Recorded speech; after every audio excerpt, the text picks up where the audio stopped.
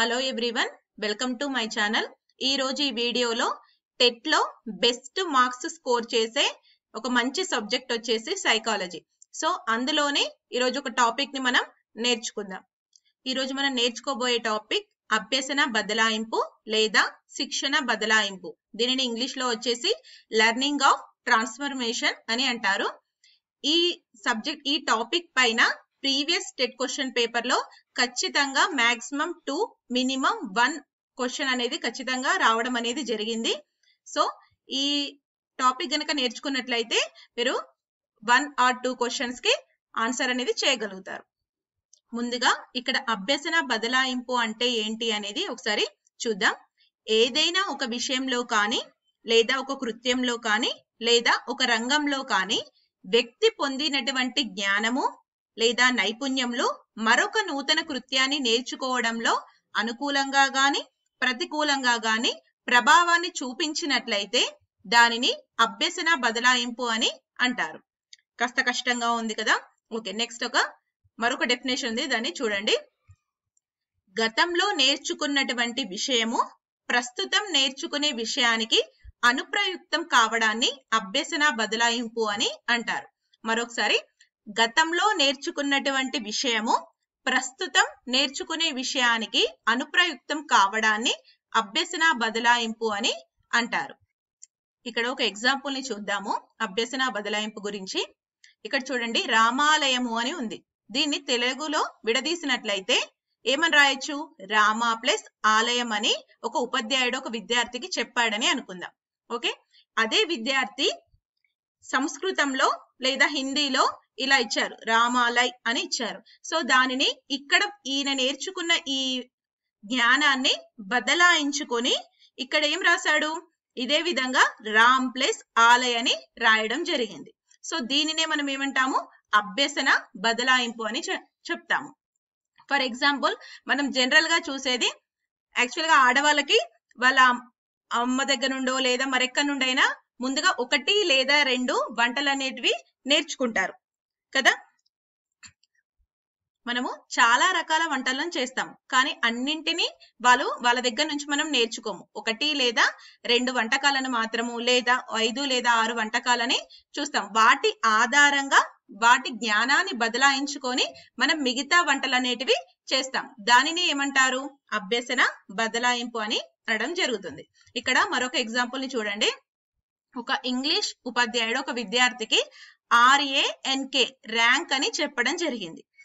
అదే విద్యార్థి ఇంటికి వెళ్ళాక ఒక బుక్లో బిఏఎన్కే అని చూశాడు.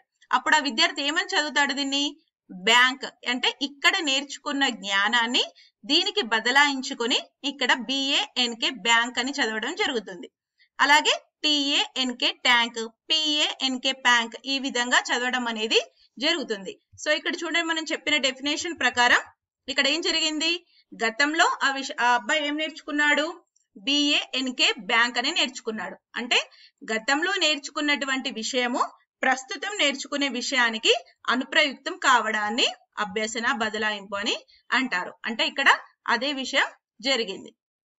అండ్ ఇక్కడ మరొక ఇంపార్టెంట్ పాయింట్ వచ్చేసి అభ్యసనం అనేది ఎవరికి వారిలో మాత్రమే జరుగుతుంది. ఓకే? అంటే ప్రతి ఒక్కరిలో జరుగుతుంది. ఎవరికి వారిలో మాత్రమే జరుగుతుంది. ఫర్ ఎగ్జాంపుల్ ఇప్పుడు నేను మీకు ఈ టాపిక్ గురించి చెప్తున్నాను. ఈ ఈ విధంగా చెప్పడం అనేది అభ్యసనం కాదు. ఓకేనా? మనలో మనం చదువుకోవడాన్ని మనలో మనం ఒక విషయం నుండి మరొక విషయాన్ని నేర్చుకోవడాన్ని అభ్యసనం అభ్యసన బదలాయింపు అని అంటారు. అండ్ నెక్స్ట్ ఇక్కడ చూడండి. అభ్యసన బదలాయింపు అనేది ఒక గ్రంథం. ఓకేనా? ఈ అభ్యసన బదలాయింపు అనే ఈ గ్రంథంను రచించింది గారెట్. ఓకే? ఎవరు? గారెట్. అభ్యసన బదలాయింపు అనే గ్రంథంని రచించింది గారెట్. నెక్స్ట్ ఇక్కడ అభ్యసన బదలాయింపు నిర్వచనాలు ఒకసారి చూద్దాము. ఇక్కడ నాలుగు నిర్వచనాలు అనేటివి ఉన్నాయి. ఒకటి చూద్దాం. ఫస్ట్ వన్ వచ్చేసి గారెట్ ఇచ్చింది. ఒక స్థితిలో వ్యక్తి పొందిన అభ్యసన అనుభవం. మరొక స్థితిలోకి పూర్తిగా గాని పాక్షికంగా కాని ఇతర పరిస్థితులలో అనుప్రయుక్తం కావడాన్ని అభ్యసన బదలాయింపు అని అంటారు. ఇది ఎవరు చెప్పారు మనకి? గారెట్ చెప్పారు. మరొకసారి ఒక స్థితిలో వ్యక్తి పొందిన అభ్యసన అనుభవం మరొక స్థితిలోకి పూర్తిగా కాని పాక్షికంగా కాని ఇతర పరిస్థితులలో అనుప్రయుక్తం కావడాన్ని అభ్యసన బదలాయింపు అని అంటారు. ఓకే? ఇక్కడ గుర్తుపెట్టుకోండి పూర్తిగా పాక్షికంగా అని వచ్చినట్లయితే ఎవరు మనకి ఇక్కడ? Garrett okay? So next one. ఇక్కడ చూడండి ఒక అభ్యసన రంగంలో ఏర్పడినటువంటి జ్ఞానము నైపుణ్యము ఆలోచన విధానము వేరొక రంగంలోకి తీసుకుపోవడాన్ని అభ్యసన బదలాయింపు అని అంటారు. ఓకే? ఒక అభ్యసన రంగంలో ఏర్పడినటువంటి జ్ఞానము నైపుణ్యము ఆలోచన విధానము వేరొక రంగంలోకి తీసుకుపోవడాన్ని అభ్యసన బదలాయింపు అని అంటారు. ఓకే? ఇది మనకు చెప్పింది Crow and Crow. Okay? Next third one ఒక ప్రక్రియలో గడించిన అనుభవాలు మరియు సాధనలు తర్వాత ప్రక్రియ యొక్క అనుభవాలు సాధనపై ప్రభావం చూపించడాన్ని అభ్యసన బదలాయింపు అని అంటారు. ఇది ఈ నిర్వచనం ఇచ్చింది మనకి ఎలిస్ నెక్స్ట్ ఫోర్త్ వన్ ఒక అభ్యసన స్థితిలో అభ్యసించిన జ్ఞానము శిక్షణ అలవాట్లు వేరొక అభ్యన అభ్యసన స్థితికి తీసుకెళ్ళడమే అభ్యసన బదలాయింపు. ఈ నిర్వచనం ఇచ్చింది సోరెన్సన్ ఇక్కడ చూడండి second one and fourth one ఈ రెండు నిర్వచనాలు కూడా చాలా దగ్గర దగ్గరగా ఉన్నాయి. సో ఇక్కడ జ్ఞానము నైపుణ్యము ఆలోచన విధానము. ఓకే ఈ మూడు వచ్చినట్లయితే క్రో అండ్ క్రో. అండ్ ఇక్కడ ఫోర్త్ వన్లో జ్ఞానము శిక్షణ అలవాట్లు. అక్కడ ఆలోచన విధానం ఇక్కడ శిక్షణ అలవాట్లు వచ్చినట్లయితే ఎవరు మనకి ఇక్కడ? సోరెన్ సార్. ఓకే? అండ్ ఇక్కడ మరొక పాయింట్ వచ్చేసి అభ్యసన బదలాయింపును ఒక వ్యక్తి తీవ్రంగా విమర్శించాడు. ఓకే? అభ్యసన బదలాయింపును ఒక వ్యక్తి తీవ్రంగా విమర్శించడం జరిగింది. అతను ఎవరంటే? William William James. ఈయన ఈ అభ్యసన బదలాయింపుని తీవ్రంగా విమర్శించాడు. ఓకే? ఈయన దేశం వచ్చేసి అమెరికా. William James ఎక్కడవాడు? అమెరికాకు చెందినవాడు. ఓకే? అండ్ ఈయన వాదము కార్యాకరణ వాదం. ఏం వాదం? కార్యాకరణ వాదం. అండ్ ఈయన ఆధునిక మనోవిజ్ఞాన శాస్త్ర పితామహుడు. విలియం జేమ్స్ అనే అతను ఆధునిక మనోవిజ్ఞాన శాస్త్ర పితామహుడు. అండ్ అమెరికా మనోవిజ్ఞాన శాస్త్ర పితామహుడు కూడా. ఓకే? విలియం జేమ్స్ అనే అతను ఎవరు? ఈయన ఈయన వాదం కార్యాకరణ వాదం అండ్ ఆధునిక మనోవిజ్ఞాన శాస్త్ర పితామహుడు అండ్ అమెరికా మనోవిజ్ఞాన శాస్త్ర పితామహుడు అండ్ ఈయన దేశం వచ్చేసి అమెరికా. ఓకే? అండ్ ఈయన రచించిన గ్రంథం వచ్చేసి principle of psychology William James రచించిన గ్రంథం ప్రిన్సిపుల్ ఆఫ్ సైకాలజీ ఓకే? ఈయన అభ్యసన బదలాయింపును తీవ్రంగా విమర్శించడం జరిగింది. అండ్ ఈయన అభ్యస ఈ విలియం జేమ్స్ అనే అతను ఈ దీనికి సంబంధించిన ప్రయోగాన్ని తనకు తానే చేసుకోవడం అనేది జరిగింది. ఓకే? ఈ విలియం జేమ్స్ అనే అతను ప్రయోగం అనేది తనపై తానే చేసుకున్నాడు. ఓకే? ఏ విధంగా అంటే ఇక్కడ ఇది కూడా మనం నేర్చుకోవాలి. ఈయన ప్రాచీన గద్య భాగం సారీ ప్రాచీన పద్య భాగం ప్రాచీన పద్య భాగంలోని మిల్టన్ రాసిన మిల్టన్.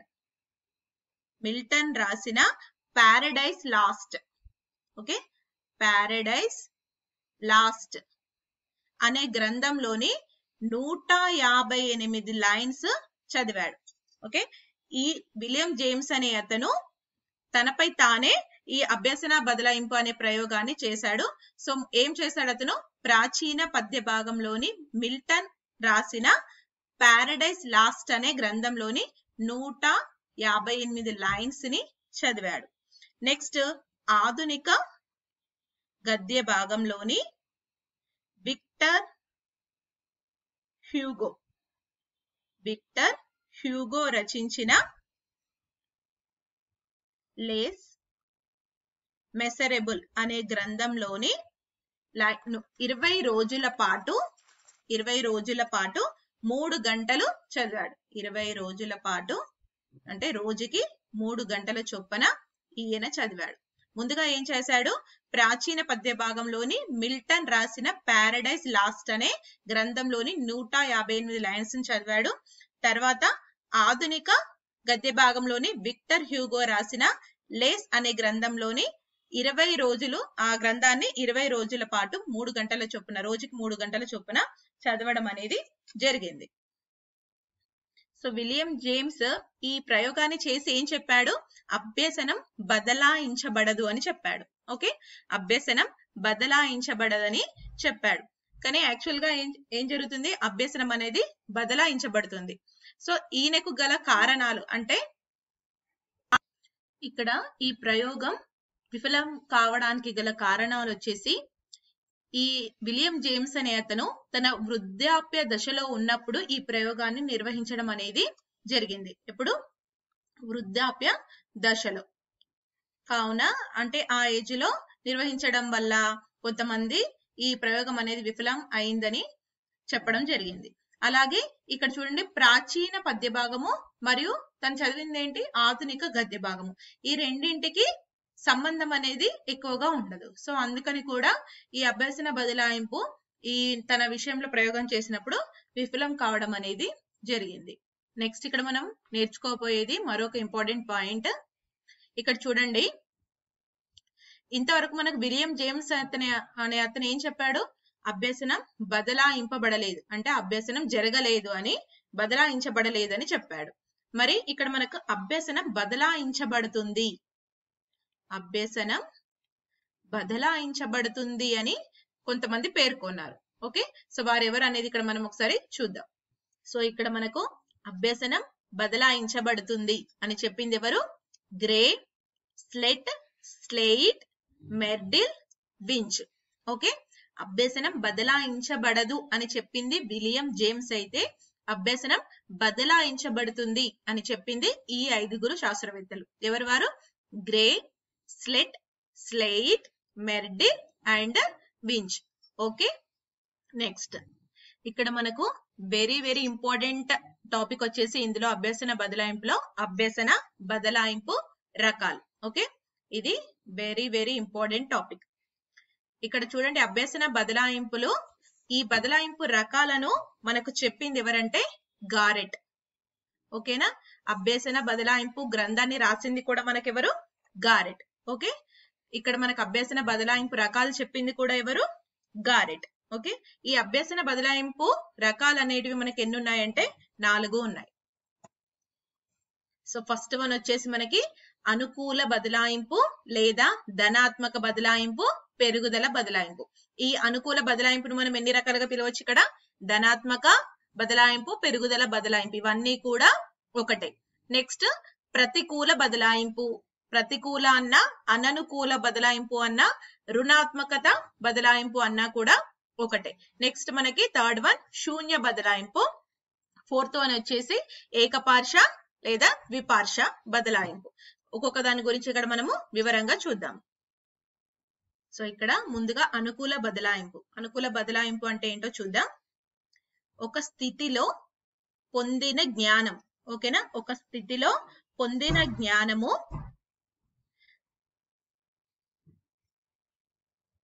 ఇక్కడ ఒక స్థితిలో పొందిన జ్ఞానము వేరొక స్థితిలో పొందిన జ్ఞానంకు సులభతరం అవుతుంది మరియు ఆ జ్ఞానం కది ముందుగా నేర్చున్న జ్ఞానం అనేది ఉపయోగపడుతుంది. ఓకే? ఏదైనా ఒక కృత్యంలో లేదా ఒక విషయంలో గాని ఒక వ్యక్తి పొందినటువంటి అభ్యసన అనుభవము మరొక నూతన కృత్యాన్ని నేర్చుకోవడానికి అనుకూలంగా లేదా సులభతరంగా దోహదపడినట్లయితే లేదా ఉపయోగపడినట్లయితే అటువంటి బదలాయింపుని మనం ఏమంటాం?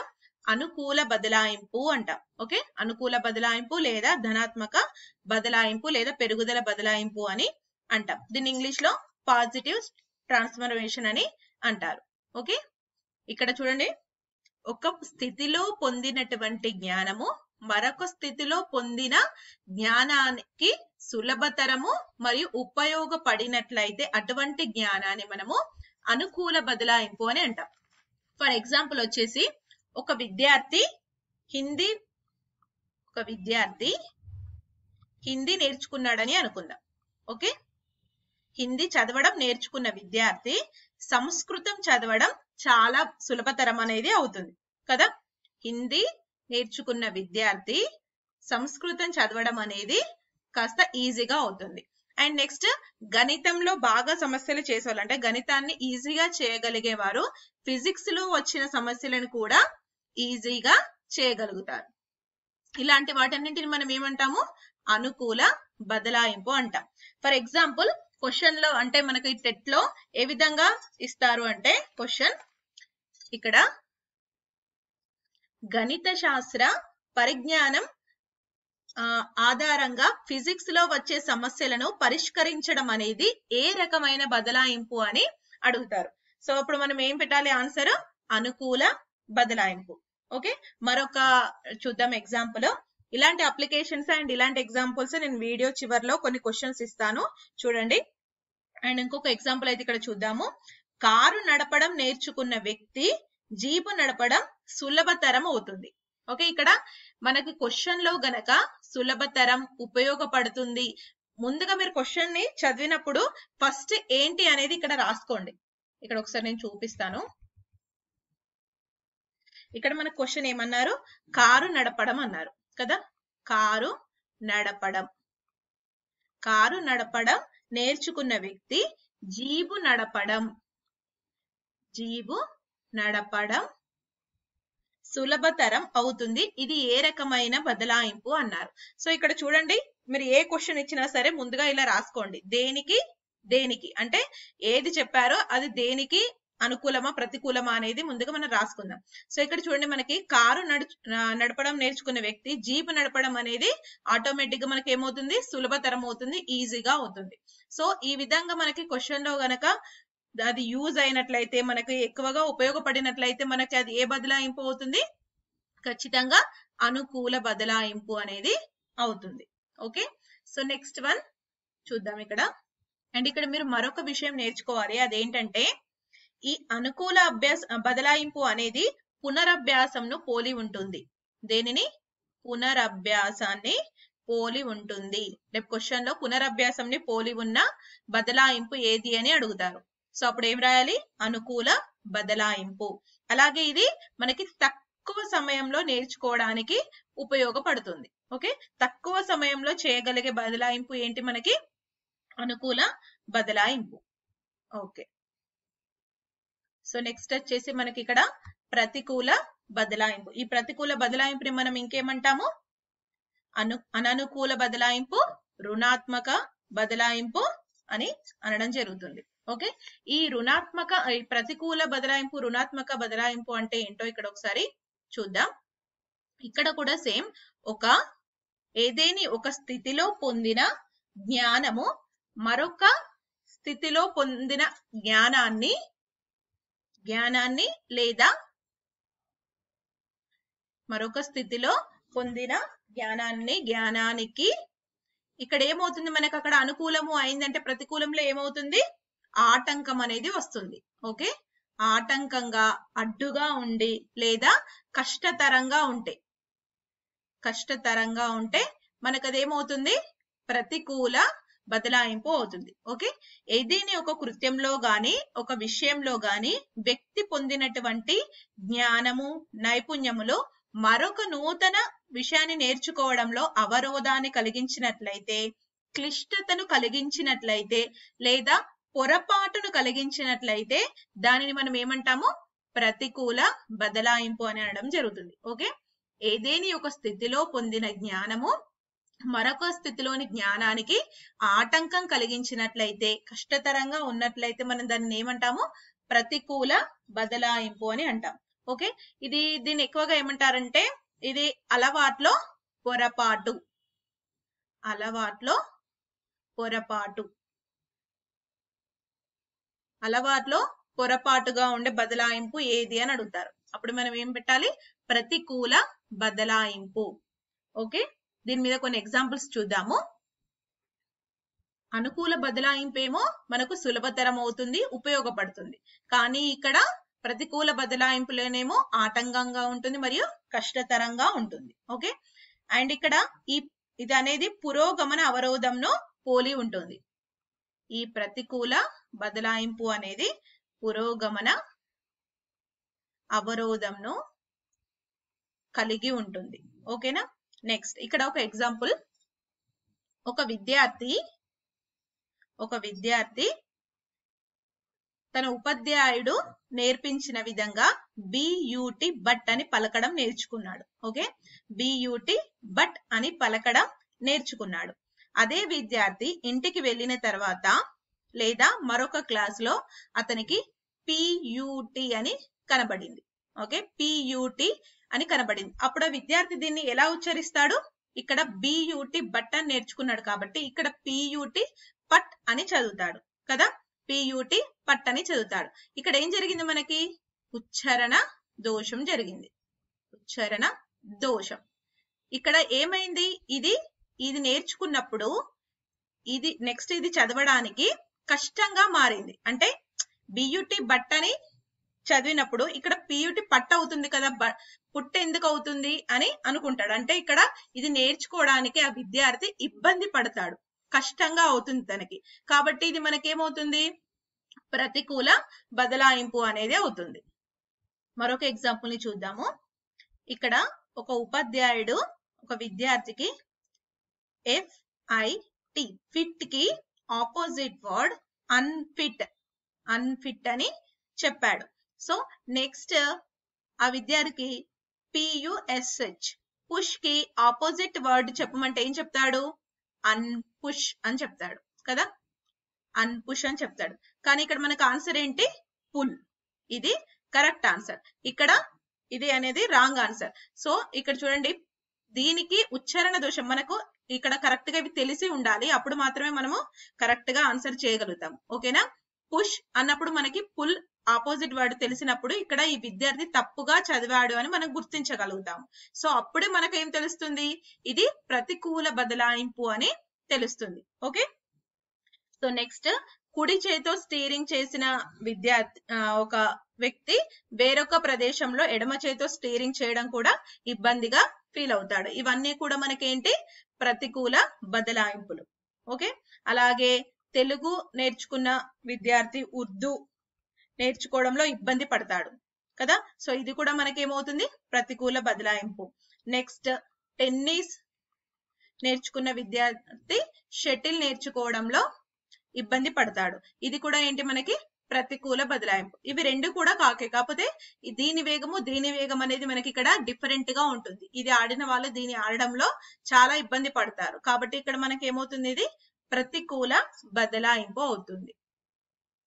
అండ్ ఇక్కడ బ్యాడ్మింటన్ నేర్చుకున్న బ్యాడ్మింటన్ నేర్చుకున్న ఒక వ్యక్తి టెన్నిస్ నేర్చుకుంటే మనకు అదేమవుతుంది ఇది మనకి అనుకూల బదలాయింపు అవుతుంది. ఓకేనా? అనుకూల బదలాయింపు. ఇది దీనికి ఎలాంటి ఆటంకం అనేది ఇక్కడ కలిగించదు. కాబట్టి ఇది నేర్చుకున్న వ్యక్తి దీన్ని సులభంగా నేర్చుకోగలుగుతాడు. కాబట్టి ఇక్కడ ఏమవుతుంది మనకి? సులభతరం అవుతుంది కాబట్టి అనుకూల బదలాయింపు. బట్ ఇక్కడ షటిల్ టెన్నిస్ అనేది వేగంలో డిఫరెంట్ ఉంటుంది కాబట్టి ఇది మనకేమవుతుంది ఇక్కడ? ప్రతికూల బదలాయింపు అనేది అవుతుంది. సో మనకి కొన్ని స్పోర్ట్స్ గురించి కొన్ని ఇంగ్లీష్ ఉచ్చారణల గురించి కూడా తెలిసి ఉండాలి. అండ్ ఇక్కడ మనకు థర్డ్ వన్ వచ్చేసి ఏంటి శూన్య బదలాయింపు. దీనిని ఏమంటారు? తటస్థ బదలాయింపు అంటారు. ఓకే? తటస్థ బదలాయింపు నిలకడ గల బదలాయింపు అని కూడా పిలుస్తారు. శూన్య బదలాయింపుని. ఇంగ్లీష్లో వచ్చేసి జీరో ట్రాన్స్ఫర్మేషన్ అని అంటారు. ఓకే? ఇక్కడ చూడండి. శూన్య బదలాయింపు అంటే ఏంటి?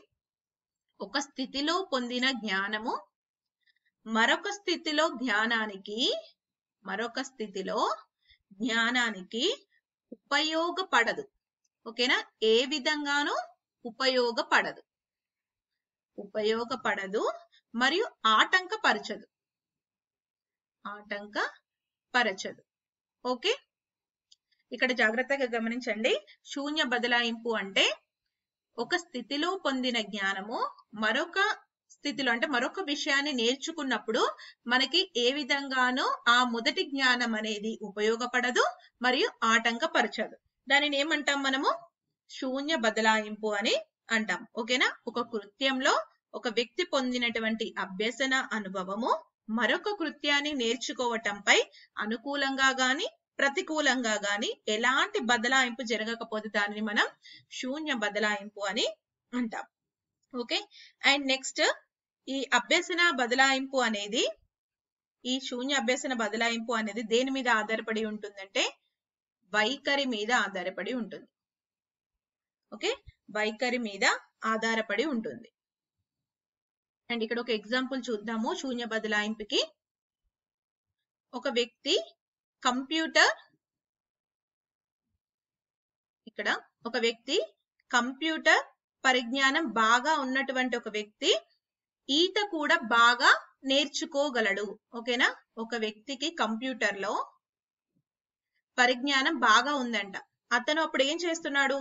ఈత కూడా అంటే స్విమ్మింగ్ కూడా బాగా చేయగలుగుతున్నాడు. ఇది ఏ అభ్యసనానికి సంబంధించింది? ఏ అభ్యసన బదలాయింపుకు సంబంధించింది అని అడుగుతారు. ఇక్కడ చూడండి అసలు కంప్యూటర్కి ఈతకి ఈ రెండింటికి ఏ విధమైన సంబంధం అనేది లేదు. కాబట్టి ఇది ఏమవుతుంది మనకి? శూన్య బదలాయింపు అవుతుంది. ఓకే? శూన్య బదలాయింపు అవుతుంది. ఒకదానికి మరొక దానికి అసలు సంబంధమే ఉండదు. అలాంటి బదలాయింపులన్నీ కూడా మనకేంటి? శూన్య బదలాయింపులు. మరొక ఎగ్జాంపుల్ చూద్దాం. ఆటలు బాగా నేర్చుకొని రాణించేనటువంటి ఒక అమ్మాయి చదువులో కూడా బాగా రాణించగలదు. ఒక అమ్మాయి ఆటలు బాగా ఆడుతుందంట. ఆ అమ్మాయి చదువులో కూడా బాగా రాణించగలదు. ఇది ఏ రకమైన అభ్యసన బదలాయింపు అని అడుగుతారు. ఇక్కడ ఆటలకు చదువులకు మనకు ఏ విధమైన సంబంధము లేదు. కాబట్టి ఇది మనకి ఏమవుతుంది శూన్య బదలాయింపు అవుతుంది. ఓకే? శూన్య బదలాయింపు అవుతుంది. నెక్స్ట్ సంగీతం బాగా నేర్చుకున్న రాధ వంటలు కూడా చాలా రుచిగా చేయగలదు. సో మీరు దేన్నైనా నేను ముందుగా ఇలా చెప్ ఇలా రాస్తున్నాను కదా మీరు కూడా ఎగ్జామ్లో ఇచ్చినప్పుడు ఇలా అంటే మొదటిది ఏంటిది తర్వాత ఏంటిది అని రాసుకున్నప్పుడు దానికి మనము ఈజీగా బదలాయింపు ఏంటి అనేది గుర్తుపట్టచ్చు. ఇప్పుడు ఇక్కడ నేను ఒక క్వశ్చన్ అడుగుతాను చూడండి. టైప్ రైటర్ టైప్ రైటర్ నేర్చుకున్న వ్యక్తి కంప్యూటర్ కీబోర్డ్ని కంప్యూటర్ కీబోర్డ్ని ఇట్లా ఇంత ఇస్తాడు అనుకోండి కంప్యూటర్ కీవర్డ్ ఆర్ కీబోర్డ్ని బాగా వాడుతున్నాడు లేదంటే బాగా ఉపయోగిస్తున్నాడు అని ఇస్తాడు. సో ఇది ఏ విధమైన బదలాయింపు అని కూడా ఒక్కొక్కసారి అడగడం అనేది జరగదు. జస్ట్ కింద ఇంత ఇచ్చి కింద క్వశ్చన్ మనకు ఆన్సర్లో ఏమిస్తాడు? అనుకూల బదలాయింపు శూన్య బదలాయింపు ప్రతికూల బదలాయింపు అని ఇవ్వడం అనేది జరుగుతుంది. సో ఇక్కడ చూడండి మనకి ఇది ఏ విధమైన బదలాయింపు అవుతుంది మరి మనకి ఇక్కడ? Typewriter. ఇక్కడ వచ్చేసి కంప్యూటర్ కీబోర్డ్. అంటే కంప్యూటర్ కీవర్డ్స్ యూజ్ చేస్తున్నాడు అంటున్నాడు. ఇవి రెండు కూడా మనకి దగ్గర అంటే ఒకే జాతిని పోలి ఉంటాయి కదా? సో ఖచ్చితంగా టైప్ రైటర్ నేర్చుకున్న వ్యక్తి కంప్యూటర్ కీబోర్డ్ని యూజ్ చేయడం అనేది సులభతరమే అవుతుంది. సులభతరం అవుతుంది. కాబట్టి ఇది మనకి ఏ బదలాయింపు అవుతుంది? అనుకూల బదలాయింపు అవుతుంది. ఓకే? అనుకూల బదలాయింపు అవుతుంది. ఓకే. నెక్స్ట్ నెక్స్ట్ వచ్చేసి ఏంటి మనకి ఏకపార్ష మరియు ద్విపార్షం చూద్దాం. సో మనకు ఫోర్త్ వన్ వచ్చేసి ఏంటి ఇక్కడ? ఏకపార్ష ద్విపార్ష బదలాయింపు. సో ఇక్కడ చూద్దాము. ఏకపార్ష అంటే మనకి ఏం తెలుసు? ఒకే వైపు కదా? ఒకే వైపు. అంటే ఇక్కడ ఏంటి? ఒక ఒకే వైపు ఉన్న నైపుణ్యాలు బదిలీ కావడం. ఓకే? ఫర్ సపోజ్ కుడి చేతి నైపుణ్యాలు కుడి చేతి నైపుణ్యాలు కుడి కాలికి కుడి కాలికి బదిలీ కావడం. ఓకే? ఇప్పుడు ఇక్కడ క్లియర్గా చూద్దాము. ఒకవైపు ముందుగా మీకు ఒక ఎగ్జాంపుల్ చెప్తాను. దాని ద్వారా ఈజీగా అర్థమవుతుంది. ఇక్కడ కుడి చేతితో రాయగలిగే వ్యక్తి అంటే కుడి చేతితో రాయగలిగే వ్యక్తి కుడి కాలుతో కూడా వ్రాయగలడం. ఓకేనా? కుడి కాలుతో. కుడి కాలుతో వ్రాయగలడం. అంటే ఇక్కడ ఒకే వైపు ఉంటాయి. కుడి చేతు కుడి కాలు అనేది మనకి ఒకే వైపు ఉంటాయి. ఆ విధంగా. ఒకే వైపు ఒక భాగం ఒక నైపుణ్యం అనుకోండి. నైపుణ్యం. సో ఇవి మనకి ఎలా ట్రాన్స్ఫర్ అవుతాయి ఇక్కడ? నెక్స్ట్ కూడా ఇప్పుడు ఇక్కడ ఇది కుడి చేతు ఓకే? ఒకే వైపు కుడి చేతులో నైపుణ్యం అని అనుకుందాం. నెక్స్ట్ ఇక్కడ ఏం జరుగుతుంది? అదే వైపు అంటే కుడి వైపే. అండ్ భాగం మాత్రం వేరే. అంటే ఇక్కడ కుడి చేతి ఉంటే మనకి ఇక్కడ ఏమవుతుంది? కుడి కాలు అవుతుంది. ఓకే? కుడి కాలు.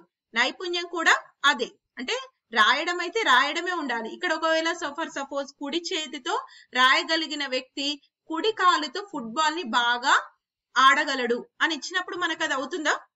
అది అది ఏకపక్ష బదలాయింపు అవుతుందా కాదు. అప్పుడు అది ఏ బదలాయింపు అవుతుంది ఒకసారి ఆలోచించండి. శూన్య బదలాయింపు అవుతుంది ఎందుకు? రాయడము మనకి ఇక్కడ అండ్ ఆడడం అనేది రెండు వేరు వేరు కదా? సో అందుకని మనకి ఇక్కడ ఏమవుతుంది ఇది? శూన్య బదలాయింపు అవుతుంది ఓకే? అందుకే ఇక్కడ గుర్తుంచుకోండి. కుడి చేతు అంటే ఒక వైపు ఒక భాగం నైపుణ్యం.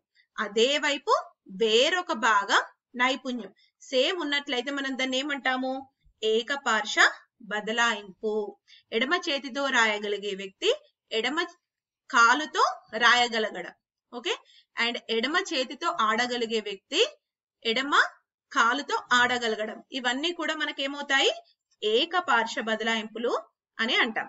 ఓకే? దీన్ని ఇంగ్లీష్లో వచ్చేసి యూనిలాటరల్ ట్రాన్స్ఫర్ అని అంటారు.